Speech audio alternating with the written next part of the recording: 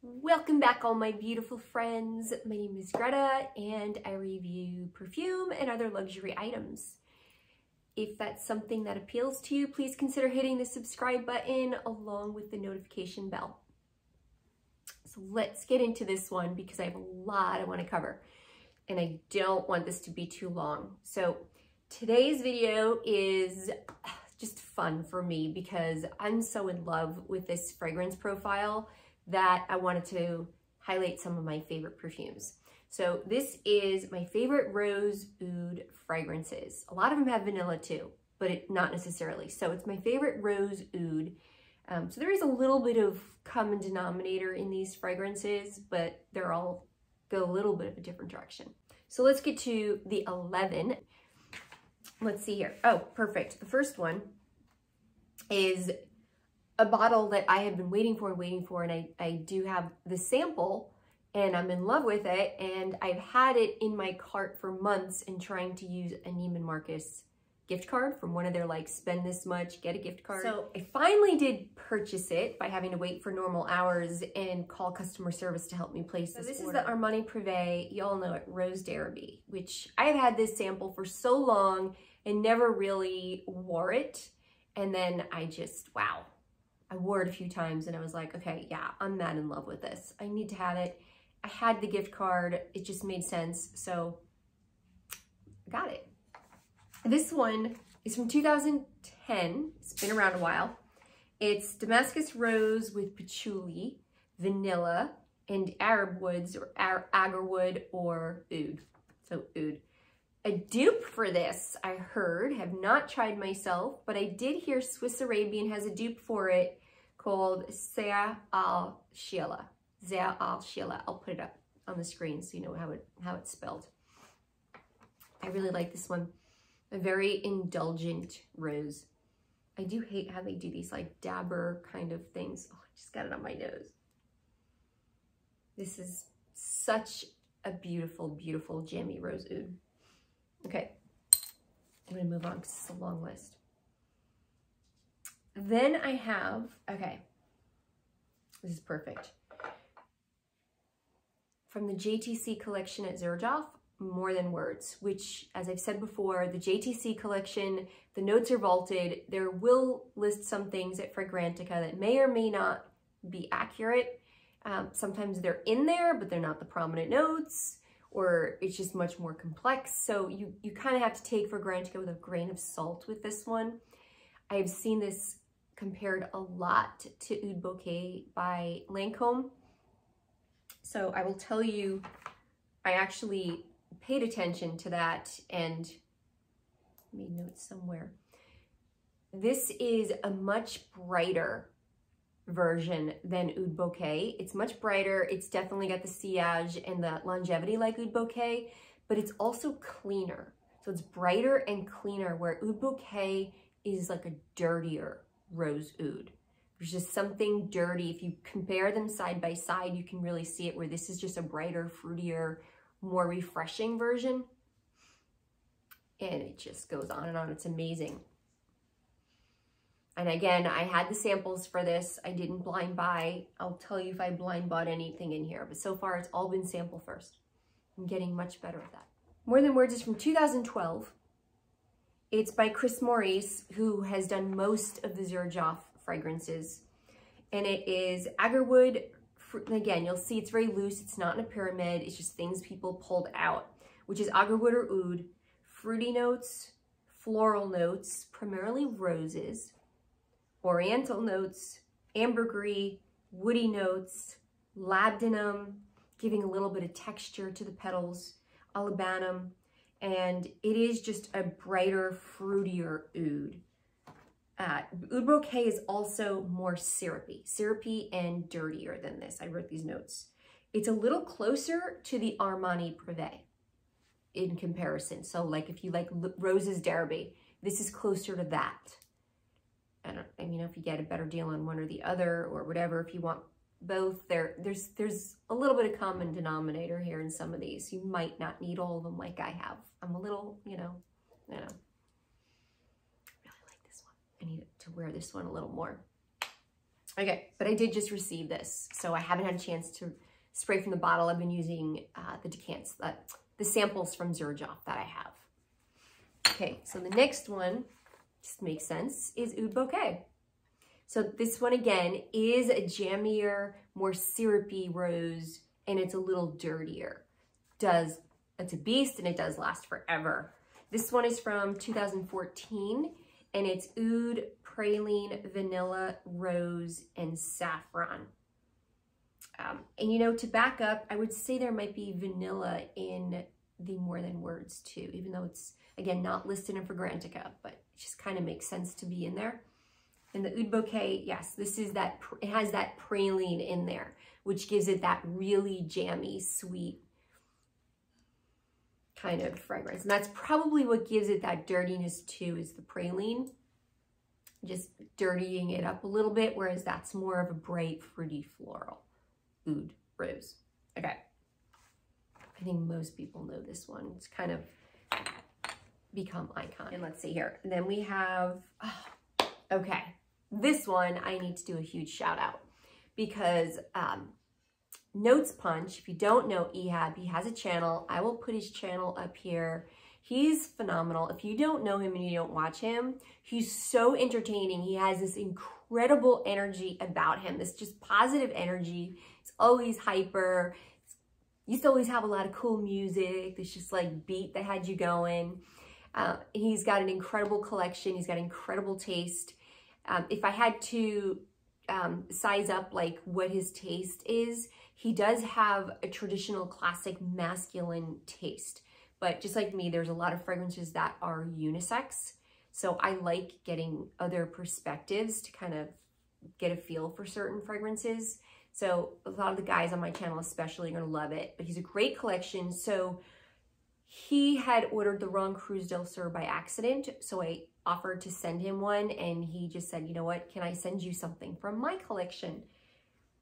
And I asked for Wardasina by Xerjoff, which comes in the beautiful red velvet bottle and fell in love this. I, I, this is in my cart now to buy.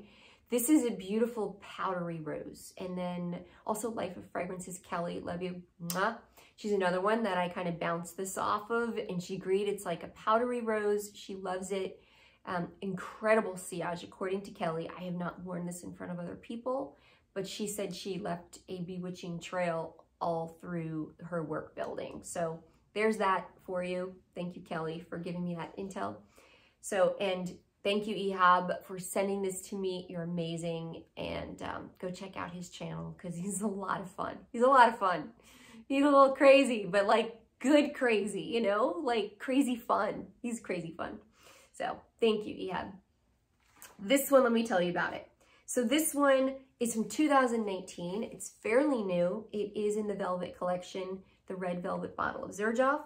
And this is the perfumer Chris Maurice. Top notes are green notes. Middle notes are Bulgarian rose, saffron, cedar, and patchouli. And the base is, check this out, tobacco, musk, and vanilla but it's, I don't get a whole lot of tobacco. Like tobacco is another funny note like leather that I don't like too much tobacco. It has to be a clean tobacco on me. It can't be like an ashtray or like a burned tobacco. They, it will overpower everything on my skin. But this is, um, it's definitely a quieter rose, where like a powdery rose. I've been wearing this and it leaves that trail and I asked my mother when I, I sprayed this on me before earlier this morning, and I asked my mother, like, hey, try this perfume. She goes, I smelled like an hour ago this amazing scent. I go, oh, that's this arm. Try this. She's like, yes, that is so good. It left this incredible trail around the house. So yes, I guess it does leave a trail around the house. But I, I, I now I want to get this, and it, you can get it pretty reasonable. It's good. It is um, a sweet rose I don't really get those green notes personally. I'm not a big green note person, but um, I do get vanilla. The vanilla and the rose, and I don't know where the powderiness comes from. However, that is a little bit of that Xerjoff um, DNA is that just addictive kind of base that they have. I don't get too much of a sharp saffron either or that tobacco, so don't worry about that. But it is a drier fragrance. In this realm here, this is probably the driest of the ones I've mentioned so far, meaning least sweet. But it's still sweet because you know I don't like dark foods. So, them. The next one is on its way via Sea Turtle. I've been waiting a long time. Is by Atelier des Ors. And of course, it's the beautiful bottle with like the pieces of gold in there floating around that I wish I could have had for this video. But again, I just wanted to do it. I'm behind enough right now. So, um, and this is the Rose Omeyyade. I had gotten a bunch of samples from Scent Splits, and this was one of them. I got all these Atelier des Ors from there and I just absolutely loved this one. So let me tell you about this one. It's from 2015, and the nose is Marie Salamagne. Salamagne, I think is how she says it. Top notes are rose, raspberry, pink pepper. I mean, oh, you still my beating heart. Middle notes are brown sugar, patchouli, and guaiac wood. In a base of agarwood oud, amber, and sandalwood. Again, it is this beautiful, decadent, jammy rose oud that lasts and lasts and projects and you will smell this on you all day long, which I love. And I, I get it when it, it, gets too hot. I mean, I don't understand, like these fragrances are, are huge in the Arab world where that is very hot desert out there. And they seem to wear these all year round. So I don't know we'll see what I can do this summer. But some of these, you, you know, I don't know. I think I'm the one that feels stifled sometimes, but I've just been craving this. I've really been craving these fragrances and people don't know, but in Southern California, we have a really long spring. It's like rainy season in the beginning of the year, and then we go into May gray and June gloom. So we get two months of a lot of overcast. Yes, it's warm out, like in the 60s, maybe 70, but it's overcast. It's just not sunny days. And then the sun will come out and then just a lot of overcast. No rain or anything, just cloud cover. So you kind of get in the mood for this kind of stuff. And I think that's probably why I've been craving this is, and just because I've discovered so many amazing ones. So forgive me if you're like sweltering in the heat right now and this doesn't work for you, but I just craving, craving it. Okay, the next one is also recent, recent purchase, which is Xerjoff Soprano. I mentioned this a little bit in the haul. And this one's from 2019. It's fairly new. I'm assuming Chris Maurice on this one, but I'm not sure. Occasionally there's a different nose at Xerjoff.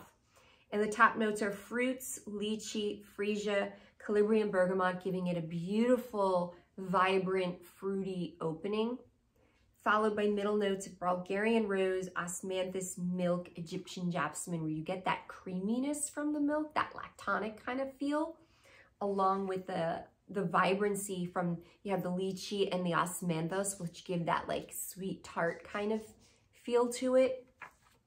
And then you've got that bewitching jasmine, which is never subtle. And then a base of agarwood, oud, patchouli, and leather. And leather in here kind of dances in and out. It's not an overwhelming leather. It kind of plays peekaboo with you a little bit, but you have that beautiful Xerjoff DNA as well that is very creamy. Um, just, there's something intoxicating about that Xerjoff DNA. But I love this one because you have those very different notes in there. So you get like this dance all day long of these like sweet and sour and then the patchouli and the wood and you just, you know, the oud and you just kind of like dance all over the place with this one. This one's really fun. And I have worn this one in the heat because it kind of dances around. It's never really overwhelming on me.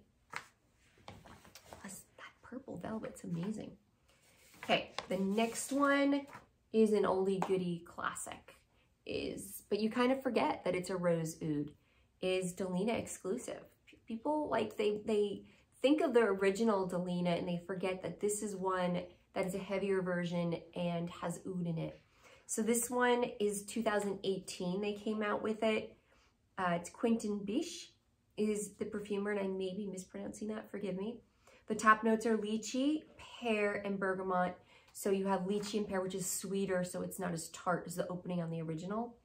And then you have middle notes are Turkish rose, agarwood oud, and incense in a base of vanilla, amber, and woody notes. And this one takes on that like rose and powdered sugar kind of feel to it with those fruity notes.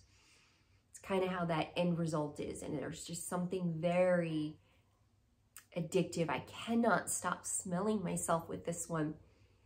And it does leave a beautiful trail. This is really girly, beautiful Next trail. one. This is another hidden gem. People don't know about this one. It's like, I feel like another secret of mine. So it's another Louis Vuitton fragrance and I have the mini decanted so I don't have the full bottle, sorry. But it is Matière Noire, which means black matter is how it translates.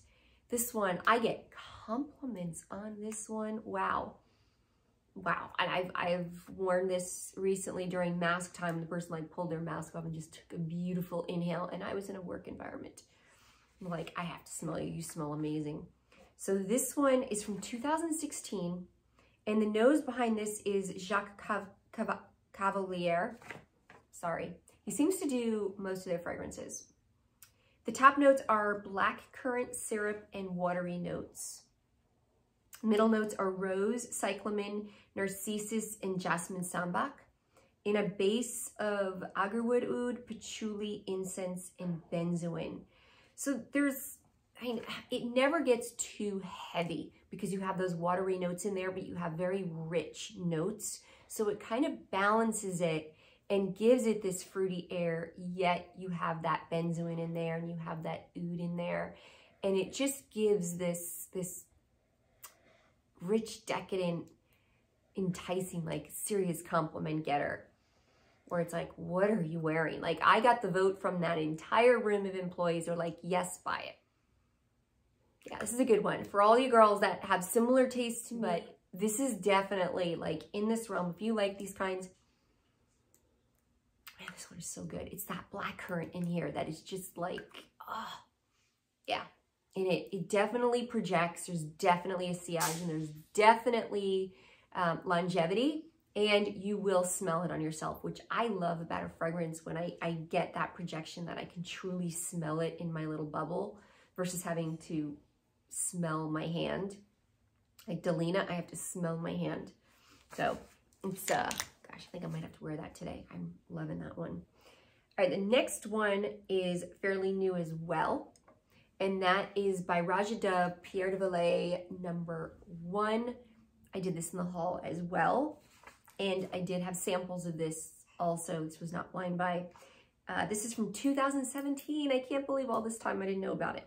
The top note is bergamot. Middle notes are May Rose, Jasmine, and Orange Blossom in a base of saffron, oud, ambergris, benzoin, cypriol oil, also known as Nagarmotha, patchouli, vanilla, leather, labdanum, sandalwood, cedar, and musk. I went over it a little bit in my haul video.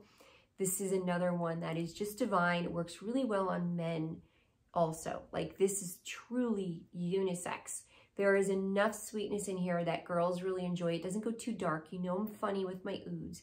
I don't like them to fall into abyss. Like Xerjoff Opera is beautiful, but just like the opera with your soprano and your alto and tenor, basically like starts out vibrant and fruity and then the middle gets more serious and then falls into this deep abyss of dark, bitter oud. And it just, it's too dark and dry for me that it's like depressing to me. I, it's not good. I need some kind, something to vibe, like cheer it up a little bit. I need some kind of sweetness or fruit or something with my ouds, so there's this balance. And this one does that. The leather is not a heavy leather. It's more like in the background, you get this leather smell and you're like, ooh, there's a little bit of leather. It's not as prominent in your face. Um, Tiziana Terenzi, Spirito Fiore, Spirito, I don't, Fiorentino, Spirito Fiorentino. I don't like that one. There's too much leather in there for me, like just to put it into perspective. That is way too masculine and leather for me. It's just in your face leather. This is not in your face. It's just kind of in the background, kind of like, toodles, how are you? You know, so it's, this is a good one. Two more. Okay, we have two from Fragrance du Bois. How can I do ouds and not mention Fragrance du Bois? So I have Oud Rose Intense, which is from 2013. It is by Hamid Merati-Kashani. Top notes are fruity notes and bergamot. Middle notes are rose, sandalwood, geranium, and amber, and a base of oud. This is, again, a drier one, but you do have that rose in here. So if you notice, there's no vanilla, right? There's some fruity notes in the top, but it's not like there's vanilla in here. So it is drier, but you get that rose that sweetens it up. And again, these are a great longevity, great sillage, great quality, cleaner ouds. I like a cleaner oud. And Fragrance du Bois, New York, Fifth Avenue. I love this one. This one is from 2020. It's fairly new. It's Shadi Samra. Top notes are rose and bergamot. Middle notes are caramel, violet. So you get that sweet caramel. You get the violet powderiness. Cypriol oil, which is Nagarmotha. Base notes are cashmere wood, musk, guaiac wood, and vanilla. Like, yum. And we're back to those sweet oud roses that I like. I haven't worn you in a while. I think I need to take you for a ride. Goodness. This is another good one if you if you haven't tried this one. Super longevity, super sillage, super great quality. Um, I, I don't know, like, oh, I can't say enough good things about this one. I have a whole video on these, so I'm probably not going to go too much into these because I have a whole video dedicated to Fragrance du Bois, and I don't want this to get too long. So those are my current favorite rose oud fragrances. And there are so many out there. It's a popular combination. Um, maybe I gave you some ideas because you know my taste. They're all similar wheelhouse-ish, but like, I mean, you look at these Fragrance du Bois, I mean, Delina, Oud Bouquet, very different, but yet there is something in common there with a little bit of depth, rose, and sweetness because I like that. So let me know what your favorites are because there's so many out there. There's so many great ones. And I will see you in the next one. Mwah. Bye, you guys.